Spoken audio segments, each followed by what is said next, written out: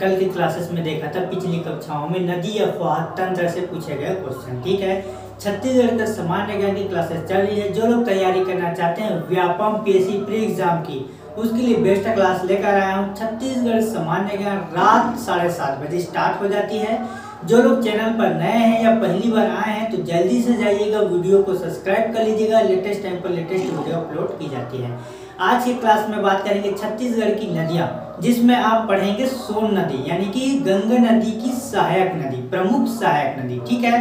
तो देखिए यहाँ पर, जैसे कि आप देख सकते हैं, आपके स्क्रीन पर दिखाई दे रहा होगा, एक मैप दिखाई दे रहा होगा। ये आपका मैप है सोन नदी, यानी कि गंगा नदी की प्रमुख सहायक नदी, ठीक है? तो हम देखेंगे सोन नदी, यानी कि गंगा नदी। हमने कल की क्लासेस में देखा था महानदी अफवाह तंत्र, जो छत्तीसगढ़ के सबसे बड़ी अफवाह तंत्र है। इसके बाद सेकंड नंबर था आपको गोदावरी नदी अफवाह तंत्र, जो कि छत्तीसगढ़ की दूसरी और सबसे बड़ी अफवाह तंत्र है। बात करें जो गोदावरी नदी अफवाह तंत्र है, वो आपका दक्षिण दिशा की ओर बहती है। कौन सी दिशा की ओर? दक्षिण दिशा की ओर, यानी कि गोदावरी नदी जो है आपका दक्षिण दिशा की ओर बहती है। और ये आपका तीसरा नदी है, सोन नदी, अफवाह तंत्र यानी कि गंगा नदी, छत्तीसगढ़ की प्रमुख तीसरा नदी। छत्तीसगढ़ की प्रमुख तीसरा नदी, गंगा नदी। जैसे कि आप मैप में देख सकते हैं, ये आपका सोन नदी है, ठीक है? जो सोन नदी है, आपका इसकी प्रमुख सहायक नदी देखेंगे, जो आपकी एग्ज़ाम में आया हुआ है, ठीक है? जैसे कि आपके व्यापम, पीएससी एग्ज़ाम में गंगा नदी से, यानी कि सोन नदी अफवाह तंत्र से एक से दो नंबर क्वेश्चन पूछे गए थे। तो देखिए, यहाँ पर गंगा नदी की प्रमुख सहायक नदी देखेंगे, जो आपको मैं पाँच तरह का बताने वाला हूँ। उसमें का दो क्वेश्चन आपको एग्ज़ाम में ऐसे ही देखने को मिल जाएगा। तो देखिए, यहाँ पर यह आपका सोन नदी अफवाह तंत्र है, जिसमें आपका सोन नदी अफवाह तंत्र की प्रमुख सहायक नदियाँ देखने वाले हैं। जैसे कि आपकी स्क्रीन पर फिर से दिखाई दे रहा होगा, एक मैप दिखाई दे रहा होगा तो छत्तीसगढ़ के उत्तर ढाल की ओर, उत्तर की ओर बहने वाली जो नदी है, ये आपका एक नदी अफवाह तंत्र है जो उत्तर की ओर बह रही है। ठीक है, ये आपका सोन नदी अफवाह तंत्र हो गया है।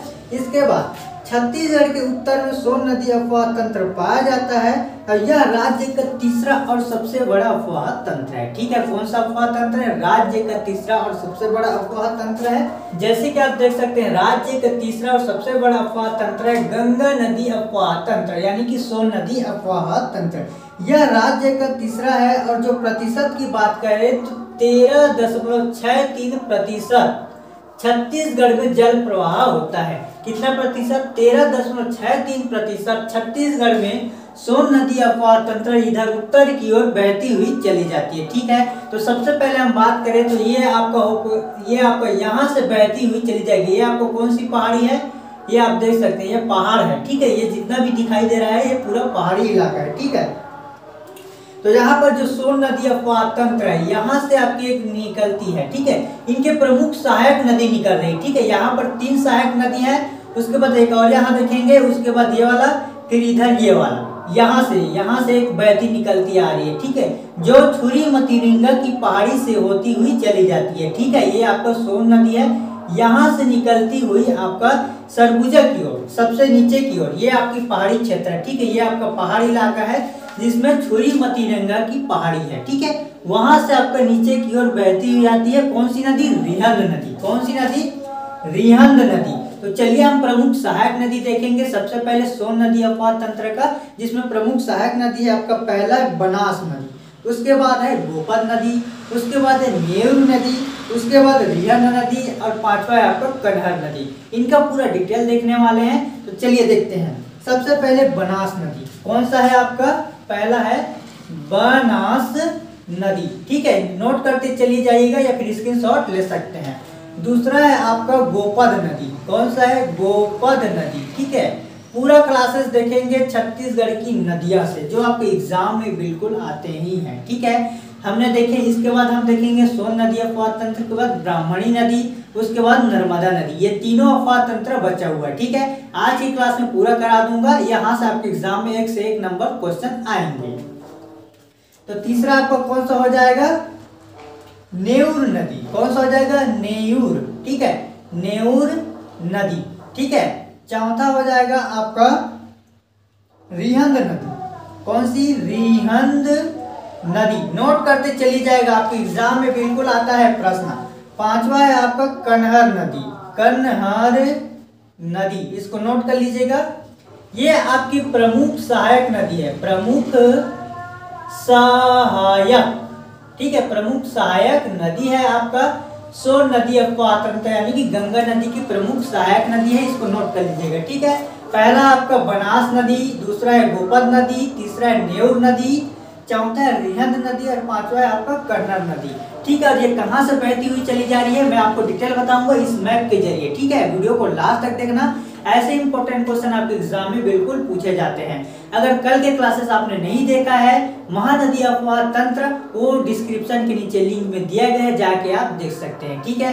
बात करें तो यहाँ पर देखिए, छत्तीसगढ़ सामान्य ज्ञान की डेली क्लासेस कराया जा रहा है पीएससी व्यापम के लिए, ठीक है? जो लोग चैनल पर नए हैं तो एक बार वीडियो को लाइक कर दीजिएगा और लास्ट तक वीडियो को ज़रूर देखना, ताकि आपको अच्छे से क्लियर हो जाएगा, ठीक है? तो देखिए, जो ये आपका पहाड़ी क्षेत्र है ये आपका कोरिया जिला हो गया। कौन सा जिला होगा? कोरिया जिला, उसके बाद सूरजपुर, इसके बाद बलरामपुर। उस यहाँ पर देखिए, ये जो यहाँ पर एक सूर्या नदी बहती है, कौन सी नदी बहती है? सूर्या नदी। नोट कर लीजिएगा, एक सूर्य नदी बहती है, यहाँ से एक सूर्या नदी, ठीक है? नेव नदी से आप निकलती जाती है, ठीक है? ये आपका हो गया सोन नदी और ये आपका बनास नदी, यहाँ से एक निकलती जाएगी, ठीक है? एक आपको आ जाएगा, यहाँ से एक नदी जो है आपका बनास नदी आ जाएगा। उसके बाद यहाँ सेकंड से निकलती हुई आएगी आपको गोपद नदी। कौन सी नदी? गोपद नदी। उसके बाद आपका न्यू नदी यहाँ से निकलती हुई आएगी यहाँ पर। यानी कि अब जो पहाड़ी इलाका है, वहाँ आपका आ जाएगा पहला प्रमुख सहायक नदी देखें। यहाँ पर तीन प्रमुख सहायक नदी है। पहला है बनास नदी, दूसरा है गोपद नदी और तीसरा है रिहन नदी। और चौथा आपका हो जाएगा यहाँ पर रिहन नदी। ठीक है, ये आपका न्यूर नदी हो गया है। और यहाँ से जो छुरी मतीरिंगा की पहाड़ी है, ठीक है? और यहाँ पर बलरामपुर ज़िले से एक और है, और ये नीचे आपका जसपुर जिला हो जाएगा, ये आपका सरगुजा, ये आपका रायगढ़, इधर कोरबा, ये जीपीजी का मतलब होता है गौरेला पेंड्रा मरवाही, ठीक है? ये जो गौरेला पेंड्रा मरवाही है, इधर की ओर है, ये आपका नक्शा मैप की तरफ़ से मैं आपको बता रहा हूँ, उसके बाद देखेंगे। यहाँ से एक और नदी निकलती है, उसको मोरनी नदी कहते हैं। कौन सी नदी कहते हैं? मोरनी नदी। ठीक है? ये सब की प्रमुख सहायक नदियाँ है तो इसको याद कर लीजिएगा, प्रमुख ये सब पाँच टॉपिक है, ठीक है? इसको याद करते हुए चलिएगा, आप एग्ज़ाम में एक ना क्वेश्चन आता है। तो सबसे ज़्यादा क्वेश्चन यहाँ से पूछा जाता है, बनास नदी से, कन्हर नदी से और नेव नदी से, ठीक है? इसमें शायद एक या दो नंबर का क्वेश्चन पूछा गया था। तो चलिए देखेंगे। जैसे कि आपकी स्क्रीन पर फिर से दिखाई दे रहा होगा, जो बनास नदी है, ठीक है? ये बनास नदी है आपका उद्गम कहाँ से होता है? मांझ टोली की पहाड़ी से। नोट कर लीजिएगा कौन सी पहाड़ी से? मांझ टोली की पहाड़ी से। ठीक है, ये देखिए आप यहाँ पर। मांझ टोली मांझ टोली। ठीक है, मांझ टोली की पहाड़ी से। कौन सी पहाड़ी से? मांझ टोली की पहाड़ी से। भरतपुर तहसील कोरिया। यह कोरिया जिला हो गया, भरतपुर। यहाँ पर, ठीक है, भरतपुर तहसील से निकलती है मांझ टोली पहाड़ी से। ठीक है? याद कर लीजिएगा। और जलप्रपात के बारे में बात करें तो रामदा जलप्रपात। कौन सा जलप्रपात? रामदा जलप्रपात। चलिए अब गोपद नदी के बारे में देखते हैं। गोपद नदी है जो उद्गम आपका सोनहत पठार से। कौन सा उद्गम आपका कौन सा हो जाएगा? सोनहत। सोनहत पठार। इसको नोट कर लीजिएगा। सोनहत पठार से उद्गम स्थल। ठीक है? ये आपको कोरिया ज़िले से। नोट कर लीजिएगा, कोरिया जिला से, ठीक है? इसके बाद है न्यूर नदी। यह मध्य प्रदेश एवं छत्तीसगढ़ के मध्य सीमा रेखा बनाती है। मध्य प्रदेश एवं छत्तीसगढ़, ठीक है? मध्य प्रदेश एवं छत्तीसगढ़, इसको नोट कर लीजिएगा। मध्य प्रदेश एवं छत्तीसगढ़ के बीच सीमा रेखा बनाती है। कौन सी नदी? नेव नदी। एग्ज़ाम के पीएससी प्री में पूछा गया, ठीक है? ये आपका पीएससी एग्ज़ाम में पूछा गया है नेवर नदी के बारे में, ठीक है? अब देखेंगे रिहर नदी के बारे में, जो आपके लिए बहुत ही इंपॉर्टेंट है, सोन नदी की प्रमुख सहायक नदी रिहर नदी। देखिए अब इसकी सहायक नदी के बारे में बात करें तो रिहर नदी उद्गम, इसका छुरी मतीरिंगा की पहाड़ी अंबिकापुर तहसील ज़िले से, ठीक है? सरगुजा। ये आपका सरगुजा जिला है, ठीक है? यहाँ पर छुरी मतीरिंगा की पहाड़ी से होते हुए यहाँ पर रिहंद नदी प्रवाहित होती है, ठीक है? उत्तर दिशा की ओर से नीचे की ओर आती हुई नज़र आ रही है, आप मैप में देख सकते हैं, ठीक है? ये मैप को बिल्कुल याद रख लीजिएगा, आपके एग्ज़ाम में ऐसे ही क्वेश्चन आते हैं तो ये ये सब इम्पोर्टेंट है, अगर ये मैप आपने समझ लिया तो ऐसे ही क्वेश्चन बन जाएगा, ठीक है? देखिए, अब छोरी मतीरेंगा की पहाड़ी होते हुए अंबिकापुर से तहसील सरगुजा ज़िले से बहती है, ठीक है? और विसर्जन के बारे में बात करें तो रिहन नदी का जो विसर्जन होता है, यह आपका सोन नदी, ठीक है? सोन नदी सोन नदी को हम किस नाम से जानते हैं? गंगा नदी के नाम से, ठीक है? अब देखिए, इसका पूरा डिटेल देखते जाइएगा, ठीक है रिहन नदी के बारे में। जो रिहन नदी है, इसकी सहायक नदी घुनघुट्टा नदी, मोरनी नदी महान सूर्या और गोबरी नदी। जैसे कि मैं आपको यहाँ पर बताऊँ, एक सूर्या नदी हो गई है, आपको मोरनी नदी हो गया है, उसी प्रकार। महान नदी, ये आपका हो जाएगा महान नदी, यहाँ से। ये इसके बाद मोरनी नदी और ये आपका सूर्या नदी, ठीक है? तो इसको नोट करते चलिए जाइएगा। अब देखिए, इसकी सहायक नदी के बारे में पढ़ लिए हैं। अब इसके बाद जल प्रपात ठीक है? तो यहाँ पर आप देख सकते हैं जल प्रपात ठीक है? यहाँ पर किसके लिए हो गया है? सोन नदी, यानी कि रिहन नदी के लिए मैं बता रहा हूँ, ठीक है? जल प्रपात नोट कीजिएगा। रक्सगंडा जलप्रपात, रक्सगंडा यह आपके एग्ज़ाम में आया हुआ है, रक्सगंडा जलप्रपात। ठीक है? आपके एग्ज़ाम में आया हुआ है रक्सगंडा जलप्रपात। यह आपको कौन से जिला में स्थित है? सूरजपुर, ये सेकंड नंबर में, ठीक है? सूरजपुर ज़िले में स्थित रक्सगंडा जलप्रपात। रिहन नदी के बारे में देखिए, जो रक्सगंडा जलप्रपात है, आपके पीएससी एग्ज़ाम में आया हुआ है, ठीक है?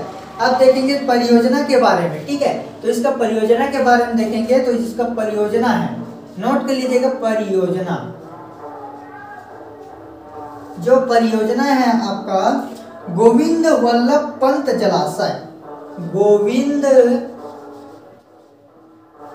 वल्लभ पंत जलाशय। ठीक है, क्या आएगा? जो परियोजना है आपको गोविंद वल्लभ पंत जलाशय आपके व्यापम पीएससी में पूछा गया है।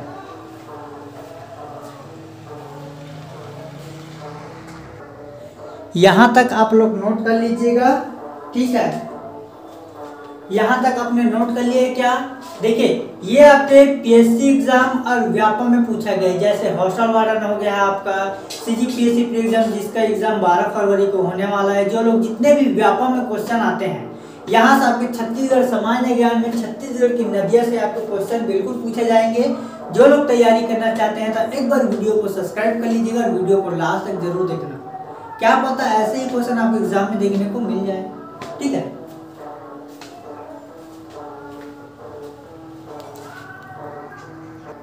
आप देखने वाले हैं रिहन नदी का विशेष के बारे में, ठीक है? रिहान नदी का विशेष देखने वाले हैं, जैसे कि आप देख सकते हैं कि सहायक नदी पढ़े थे हम।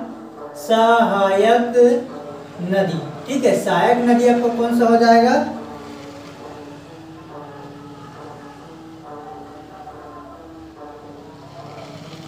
ये आपका हो जाएगा घुनघुट्टा नदी, ठीक है? घुन घुट्टा इसको याद कर लीजिए, घुनघुट्टा नदी। ठीक है, गुनगुट्टा नदी आ जाएगा। इसके बाद होगा आपका मोरनी नदी। मोरनी नदी। उसके बाद आपका हो जाएगा सूर्या नदी। सूर्या नदी, ठीक है।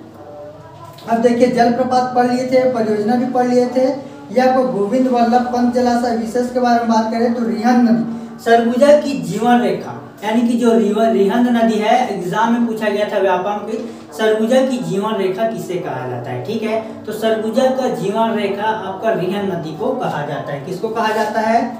सरगुजा की, इसको नोट कर लीजिएगा। सरगुजा की जीवन रेखा जीवन रेखा।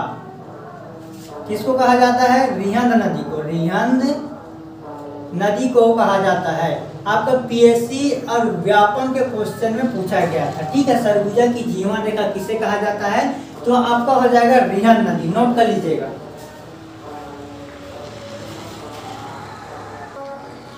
यहाँ तक हो गया था, अब इसके बाद हम परियोजना देखेंगे। ठीक है, परियोजना। परियोजना से आप एग्ज़ाम में बिल्कुल पूछे जाते हैं। ठीक है, जो परियोजना है, आपको इसको नोट कर लीजिएगा परियोजना। गोविंद वल्लभ सागर पंत परियोजना। गोविंद वल्लभ गोविंद वल्लभ पंत। आपके एजीडीओ के एग्ज़ाम में पूछा गया था। एजीडीओ के एग्ज़ाम में पूछा गया था। रिहंद की विशेष बहुत सारे एग्ज़ाम में ऐसे पूछे जाते हैं। देखिए, सरगुजा की जेवा रेखा किसे कहा जाता है? तो आप बताएँगे रिहन नदी को कहा जाता है। आपके पीएचडी और व्यापक क्वेश्चन 2019 में आया हुआ है। उसके बाद परियोजना। जो रिहन नदी का परियोजना पर है तो आपको गोविंद वल्लभ पंत ठीक है, गोविंद वल्लभ पंत आपके एजीडीओ के एग्ज़ाम में पूछा गया था। इसके बाद हम देखेंगे जो रिहंद बाँध है, उत्तर प्रदेश के मिर्जापुर में। अब इसके बाद बात करेंगे कन्हर नदी। कौन सा बचा है आपका? कन्हर नदी। ये आप बहुत ही प्रमुख सहायक नदी है, गंगा नदी की। यानी कि गंगा नदी की प्रमुख सहायक नदी सोन नदी है और सोन नदी की प्रमुख सहायक नदी आपका करना नदी है। ये आपका लास्ट वाला बच्चा है। उसके बाद हम ब्राह्मणी नदी देखेंगे। इसके बाद नर्मदा नदी देखने वाले हैं।